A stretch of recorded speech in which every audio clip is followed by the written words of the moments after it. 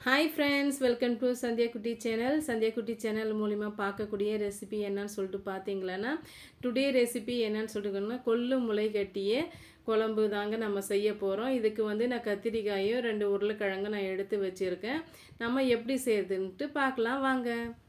பாருங்கள் இது வந்து நல்லா வந்து ஒன் டே வந்து ஃபுல்லாக வந்து கொள்ளு வந்து ஊறி வரணும். ஈவினிங் டைமில் வந்து நல்லா அலசி எடுத்துட்டு கல்லெல்லாம் மண்ணெல்லாம் தூசியெல்லாம் அலசி எடுத்துட்டு நாம் வந்து அப்படியே ஒரு காட்டன் கிளாத்தில் வந்து நம்ம நல்லா வந்து இறுக்கமாக கட்டி வச்சிடணுங்க. அப்போ வந்து நெக்ஸ்ட் டே பார்த்தீங்களன்னா நல்லா இந்த மாதிரி முளை கட்டி வரும். அதுதாங்க. இதுக்கு தேவையான பொருட்கள் என்னென்னு பார்த்தீங்கன்னா ரெண்டு மீடியம் சைஸ் வெங்காயம் மூணு தக்காளி பழம் ஒரு கொத்து கைப்பிடி அளவுக்கு கருவேப்பிலை ரெண்டு ஸ்பூன் அளவுக்கு இஞ்சி பூண்டு பேஸ்ட்டு தாங்க. பாருங்கள் இது வந்து நான் நல்லா வந்து குக்கரில் வந்து வேக போட்டு தனியாக எடுத்து வச்சுருக்கேன். இது வந்து மொத்தம் நாலு விசில் விட்டு எடுத்து வச்சுக்குங்க. அது வந்து தனியாக வந்து கொஞ்சம் ஒரு ரெண்டு கரண்டி அளவுக்கு அரைச்சி வச்சுக்கலாம். இப்போ பாருங்க வானலியில் எண்ணெய் வந்து நல்லா காஞ்சிடுச்சு. கடுகு போட்டுக்கலாம் சீரகம் போட்டுக்கலாம். நல்லா பொறிஞ்சி வந்த உடனே நம்ம எடுத்து வச்சிருக்க கருவேப்பிலை வெங்காயம் அதெல்லாம் நம்ம போட்டு நல்லா வந்து கிளறி கொடுத்துக்கலாம். பாருங்க இப்போ நம்ம எடுத்து வச்சிருக்க கருவேப்பிலையை போட்டுக்கலாம். இது நல்லா வந்து பொறிஞ்சி வரட்டும். எப்பவுமே வந்து கொள்ளை வந்து நல்லா வந்து ஊற வச்சு நீங்கள் முளை கட்டி பாருங்கள் சூப்பரான இதில் வந்து நல்லா முளையச்சு நல்லா வந்து நல்ல ஒரு டேஸ்ட்டை வந்து கொடுக்கும். பாருங்கள் இப்போ வந்து வெங்காயம் நம்ம கட் பண்ணி வச்சுருக்க வெங்காயம் வந்து நம்ம போட்டிருக்கோம். நல்லா வந்து வதக்கி விடுங்க.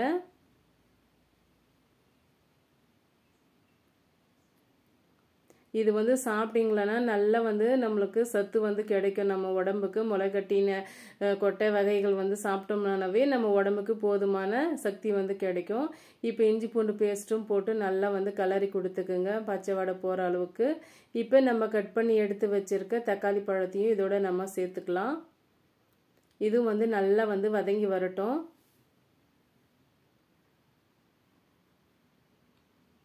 இப்போ நம்ம எடுத்து வச்சிருக்க கத்திரிக்காயும் உருளைக்கிழங்கும் இதோட நம்ம சேர்த்துக்கலாம். முடிஞ்ச வந்து முருங்கைக்காய் இருந்தாலும் இதோட நம்ம சேர்த்துக்கலாம். நல்லா இருக்கும் டேஸ்ட்டு முளை கட்டின வந்து அந்த கொள்ளு வந்து நீங்கள் ஒரு மூணு டைம் வந்து நல்லா வாஷ் பண்ணி கிளியராக எடுத்துக்கிட்டு அப்புறமா குக்கரில் ஒரு நாலு விசில் விட்டு இறக்கிக்குங்க. கரெக்டாக இருக்கும். பாருங்க நான் வந்து இதுக்கு ஒன்றே முக்கால் அளவுக்கு நான் வந்து மிளகாய் தூள் நான் சேர்க்குறேன். உங்கள் காரத்துக்கு ஏற்ப நீங்கள் சேர்த்துக்குங்க. இப்போ பாருங்கள் தேவையான அளவுக்கு உப்பு சேர்த்துக்குங்க. இதையும் வந்து நல்லா வந்து மிக்ஸ் பண்ணி கொடுங்க. அப்போ தான் வந்து நல்லா கலர்ஃபுல்லாக வந்து கிடைக்கும். எப்போவுமே காய்ங்களை நல்லா வந்து வறுத்து எடுக்கும் போது நீங்கள் மிளகுதூள் சேர்த்துங்களேன்னா சூப்பரான ஒரு கலர் வந்து கிடைக்கும். பாருங்கள் இப்போ வந்து நம்ம உளுளு முளை கட்டின இதை வந்து மிக்சி ஜாரில் போட்டு இந்த மாதிரி குறை குறைப்பாக நான் அரைச்சி எடுத்து வச்சுருக்கேன். இது வந்து ஒரு திக்னஸ் வந்து கொடுக்கும். நமக்கு சாப்பிட்றதுக்கும் நல்லாயிருக்கும். இது நம்ம வேக வச்சின முளைக்கட்டிய இது கொல்லுங்க அது. பாருங்கள் இப்போ வந்து நம்ம இவ்வளோ தண்ணி போதுன்னா நீங்கள் விட்டுருங்க. இன்னும் கொஞ்சம் எக்ஸ்ட்ரா வேணும்னா இது பண்ணுங்கள் இது கரெக்டான அளவாக இருக்குது எனக்கு.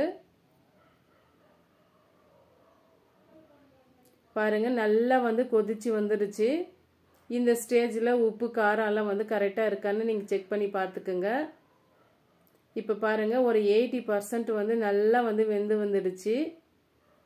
இது வந்து சூப்பராக இருக்குங்க. சாதத்துக்கும் நல்லாயிருக்கும் களிக்கும் நல்லா இருக்கும். அவ்வளோ டேஸ்ட்டாக இருக்கும் இது.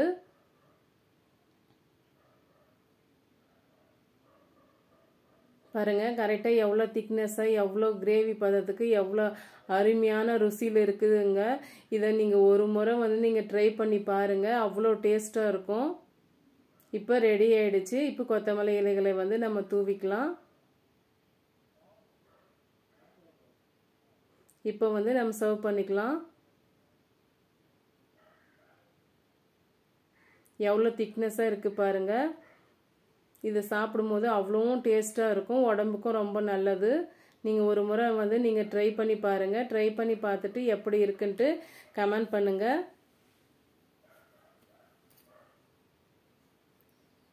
பாருங்கள் எவ்வளோ அழகாக எவ்வளோ டேஸ்ட்டாக இருக்குது பாருங்கள் மறக்காமல் உங்களுக்கு பிடிச்சிருந்தா சந்தியா குட்டி சேனலுக்கு சப்ஸ்கிரைப் பண்ணுங்கள் லைக் பண்ணுங்கள் கமெண்ட் பண்ணுங்கள் ஷேர் பண்ணுங்கள் மறக்காமல் பெல்லைக்கான வந்து கிளிக் பண்ணி விடுங்க. அப்போ தான் நான் போடுற வீடியோக்கு வந்து அடிக்கடி நோட்டிஃபிகேஷனாக உங்களுக்கு கிடைக்கும். பாருங்கள் தோசைக்கும் வந்து எவ்வளோ பிரமாதம் இருக்கும் தெரியுங்களா? நீங்கள் வந்து எல்லா இதுக்கும் வந்து நீங்கள் இதை சாப்பிட்டு பார்த்தீங்களான்னா உங்களுக்கே தெரியும் அதனுடைய டேஸ்ட் எப்படி இருக்குன்ட்டு. தேங்க்யூ